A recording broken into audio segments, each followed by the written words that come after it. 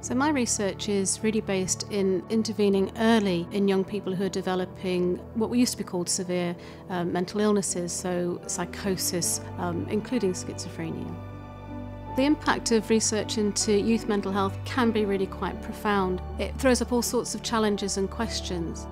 How do we define mental illness? How early is early when we want to intervene? And, and what are the effective interventions we should be offering young people?